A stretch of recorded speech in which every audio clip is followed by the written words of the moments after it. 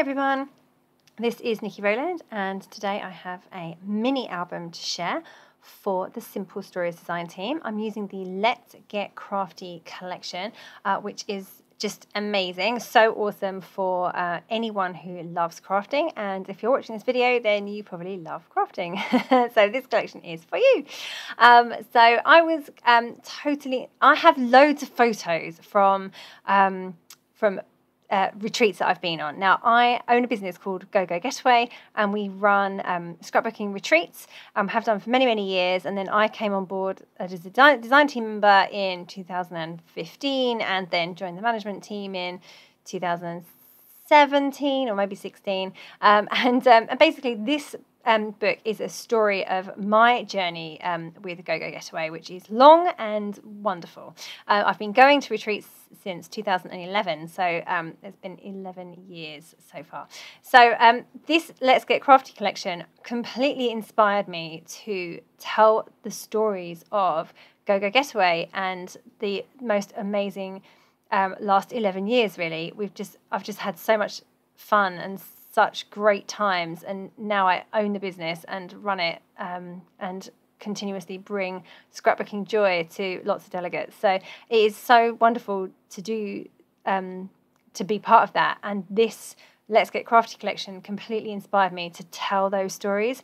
Um, so I decided to make a mini book. Um, my mini books um, never turn out to be that mini.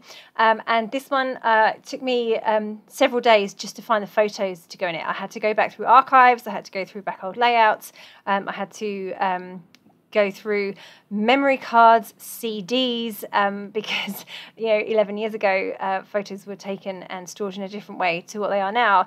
Um, so it took me a really long time to find the photos, um, and that was before I even started. And anyway, I ended up with 84 photos that I wanted to include in this book. So I knew it wasn't going to be particularly mini uh, when I started. But um, so I'm using one of the Simple Stories flip books. It's the washed whitewashed wood. Um, and the thing about flipbooks is that they can expand quite significantly. Um, however, I don't think they're ready for me and my mini books. Um, mine is a little bit too much on the large side to the point where I think I might actually get a second book and attach them together somehow. So I have like a, or maybe just have a part one and part two. Um, so anyway, I'm decorating the front cover right now. You can see I have cut the floral bit from the six by eight pad from that Dream Live Create um, big uh, uh, six by eight paper there um, and uh, I've cut the floral part out of it and used that for the front cover. I'm adding a few pieces of ephemera for the um, hearts and um, down the bottom left I've added the pencil pot and other things. Now for my tie I've got puffy stickers on there as well and some foam flowers from the foam stickers. Um, and um, for my title, um, I've used, I've cut my um, my logo, the GoGo Getaway logo, um, for on my silhouette, and then the arrow is a Perspex by um, Bramble Fox in the UK, who um, I actually asked them to make some custom made ones um, in the past, um, and I uh, had that arrow left over from that. So, um, so yeah, so that's what that is and where I got those from. So that's basically my company logo, which is um, really cool to have that on the front of the album. I love it. Um, so yeah, I've added um, on the front. I've added uh, foam flowers, uh, fussy cut flowers, ephemera flowers. I've got ephemera cotton reels. I've got hearts. Um, and um, it's all and enamel dots as well. It's all looking very pretty. Um, so here I am now moving on to the inside part of the album. So you can see how the flipbooks work. They're just with one of those file fastener things, um, which is really such a simple but clever idea um, to make these albums awesome. Um, so uh, I've taken the whole thing apart and I've removed the page protectors. So um, I have a bit of a love-hate relationship with page protectors. Um, they bother me that things have to go in and out. On the other hand, I understand that they are then protected. Um, but generally, I like mini albums to be outside the page protector. So um, part of me thought I might use them, uh, but then in the end, I just or I thought I might mix. Um, but in the end, I decided to discard the page protectors, which also goes against the grain because I hate anything to be wasted. I like to use the things, all the things. um, but uh, I just had to move on and decide that no, I'm not going to use those this time. I'm going to stick with everything outside the page protector. So I'm making my own pages. So I've cut, I've picked out a few papers, quite a lot of papers from the Let's Get Crafty collection, and I've cut them into four by 12 strips. So each sheet, I've got three of those. Um, I start off with two of each design, um, and um, then I'm scoring them. So I've measured the page protector, and I need to, the first piece, um, the whole length of the page protector is seven and a half inches. So um, that doesn't give me um, nice two nice pieces of six by four each, if that makes sense. That would have been a nice page, but of course then I need the bit for the spine. So I've, I've measured the whole thing, I've scored at seven and a half inches. So then I end up with a piece that is four and a half peach, peaches, um, four and a half inches folded over. Um, so they will be quite good to create flip outs, pockets, um, all, all sorts of things. So I decided that that was my starting point. I was going to um, fold all of my pages in that way, some going one way, some going the other way, um, and um, and then I figured I could go from there. Um, now I've also taken um, some papers and cut four by 12 strips and then folded those in half um, to make a piece that is six by four. Um, and that just means that my, that, and then I've created a pocket from that by sewing the two edges. So one is obviously already got a spine and the other end is open. So that makes a pocket page. But of course, then I need the holes punched. Um, so therefore, um, I lose a bit of the page that way. So then I end up with some smaller pages, which actually is fine because um, it was quite nice to have the smaller pages interspersed throughout the album. So I have a whole load of these flip open pages and I have a whole uh, bunch of ones that are just pocket pages and are six by four size um, and therefore they appear smaller than that um, in the book. Um, so you can see that I've punched the holes and I'm putting all of those pages um, back onto the album. I'm not sure if I will work on each page individually or if I will work on it within the album um, at this point. So I'm putting it all in um, but what I do end up doing is working on everything outside the album. I take it, take it all apart again later when I when I start using it and um, go from there.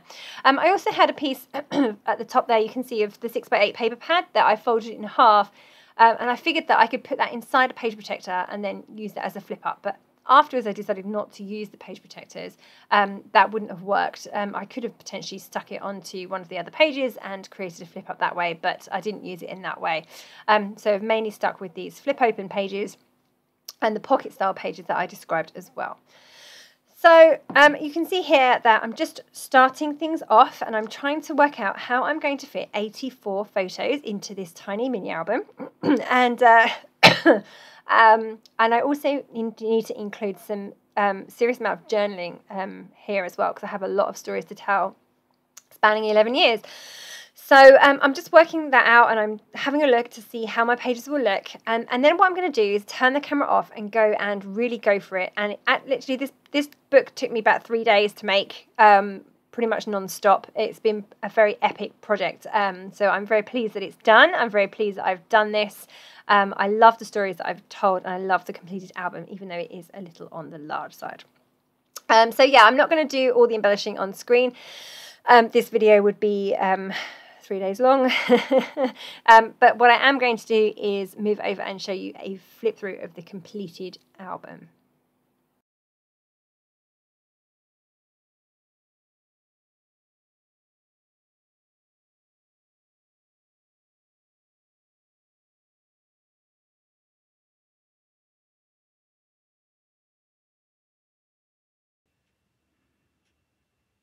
Right, so here is a flip through of this um, epic mini album.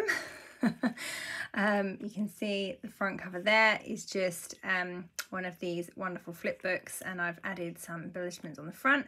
I've cut the my the um, name of my business there, GoGo Getaway, and used a, a Perspex arrow, which I was specially made, um, not for this specific project, but for for my team.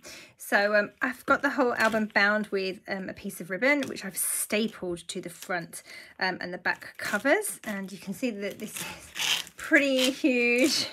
I don't mind a chunky mini, but this is perhaps going a step too far. Um, but uh, anyway, right, so um, let's get crafty. Nice and simple chipboard on the inside cover. And then we start with the um, pages themselves. So I've gone back all the way to 2010 um, for this album um, and uh, I have photos pretty much from every year between then and now so that's why it's quite epic. So um, each of the page most of the pages flip open like so. So I have like a six by four page plus the extra bit um, and that made up the 12 by 4 uh, strip. Um, oops it's going to be hard to show. Um, that uh, page there is just a plain it's just a decorative page. Well as in as in it doesn't have any in, anything interactive. Same for this one. Um i'm sparse on photos uh, from the really early days. Um this photo this page here um scrappy memories is purely decorative um no photos. Um then this one um is a flip out page as the others are. Perspex by bramble fox there um, I love this Let's Get Crafty collection. It just inspired me so much to make this um, album. This one flips up here. I've got another photo and then I've got my journaling. I want to include quite a lot of journaling in this book um, because of the nature of it um, and how far back it goes. It's a real good story to tell. So it's wonderful to have all those memories um, there. So just sewed this um, flap instead of making a flip out and created a pocket for some photos. And I have journaling on the back of all of those and little ribbon tags. They just slot into there. So same style page, but uh, a pocket instead of a flip out.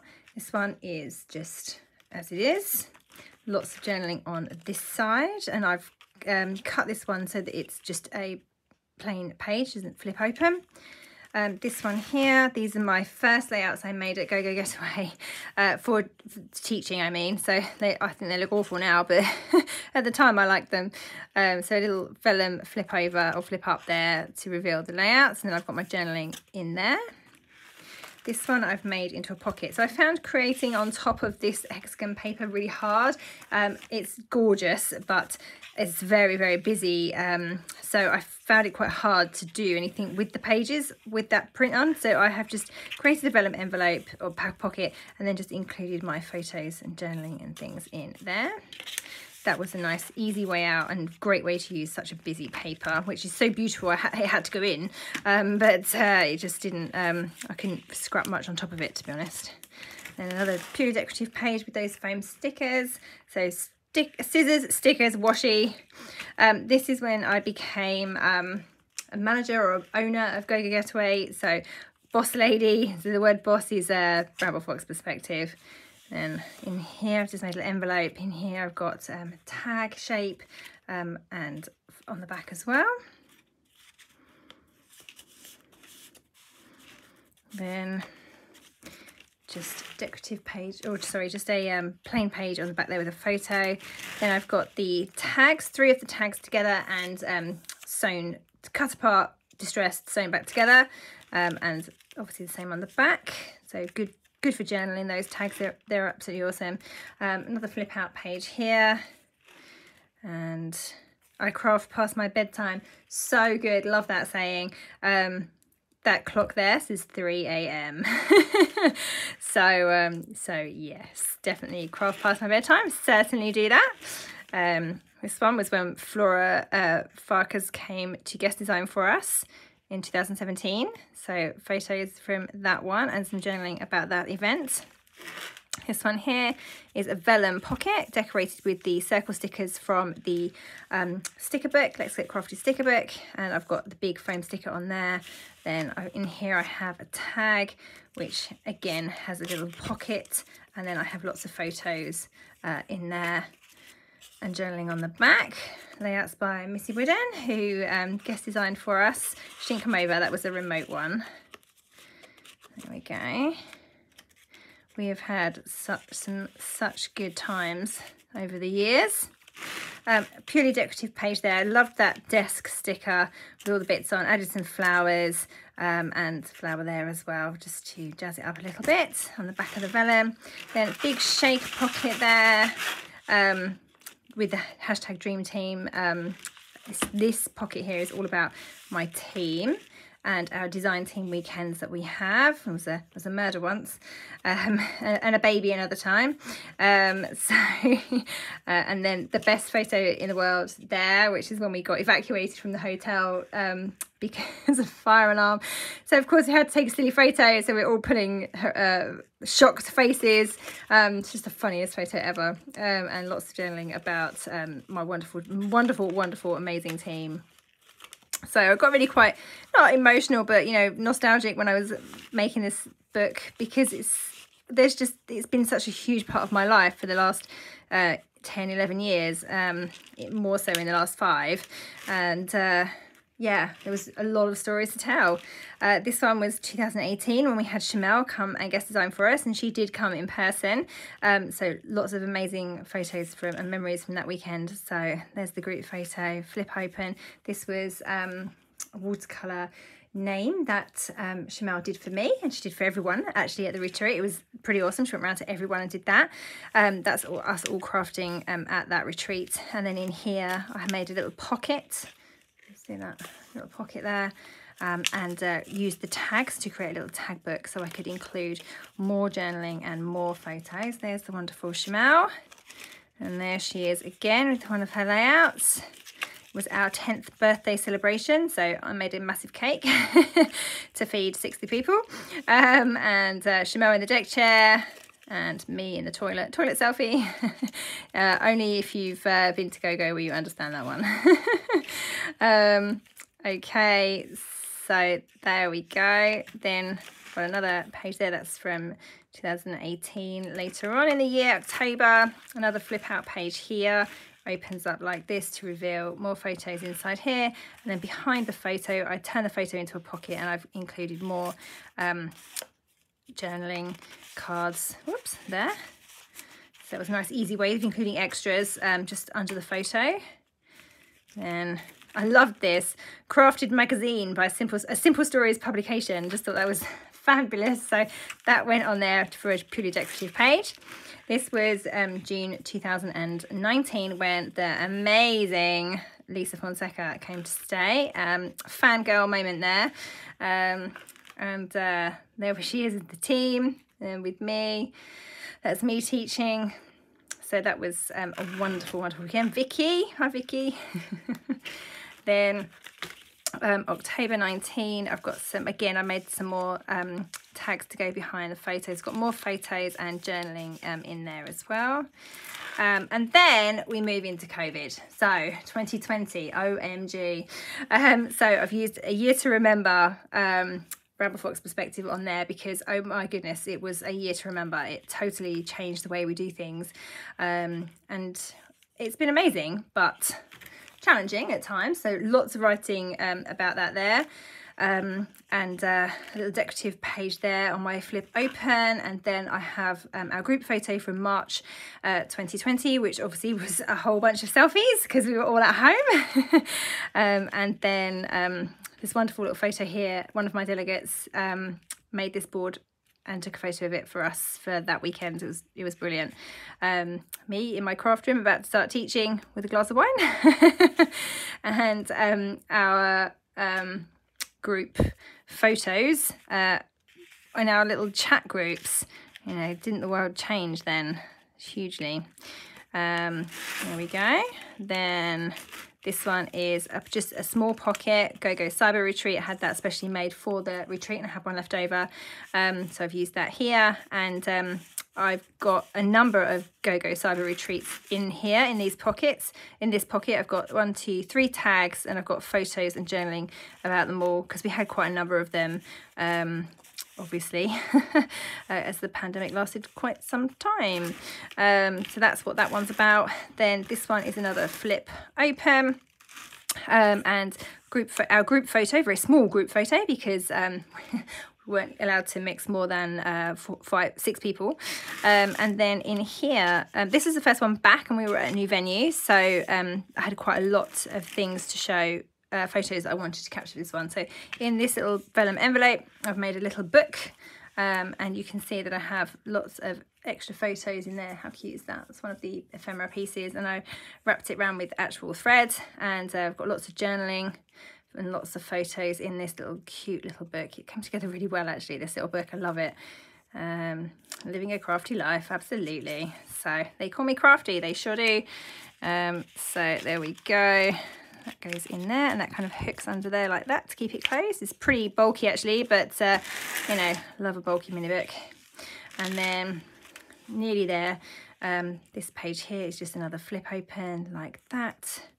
And then finally, we're back to normal. So that's my final page um, in the book. Um, I do want to put some other information in this book, but I've really run out of space. So I might just put a another piece on here and um, do some writing on there um, just to finish it off. But um, yeah, finish off the story. The book is definitely finished. so there you go. That is my very epic, not so mini mini book. So I hope you have enjoyed um, seeing that mini album that flipped through there. Here are a few um, close-up images. Um, there are quite a lot of them. I've took, taken loads of photos, um, but um, I think the flip through is probably the best way to see all the interactive parts um, and to see all the details and how the album works as a whole. Um, it's hard to see um, from these still photos, um, especially as they're cropped fairly close. But you can see some of the details now, which is nice. Um, I tell you, this Let's Get Crafty collection is so so awesome. Um, anyone who loves crafting um, and anyone who has photos of crafting events or similar, um, this is just perfect for you. I was so inspired by it. I just loved it. I have so many photos of so many, many, many, many retreats, um, and uh, I've just loved creating this book. It's been a labour of love. It's taken a long time, but it is amazing, and uh, I'm so happy with how it turned out. I love all the little details. So if you're still with me, thank you very much for watching, and um, I really hope that um, you check out the Let's Get Crafty collection. Um, so that was Niki Rowland um, for Simple Stories.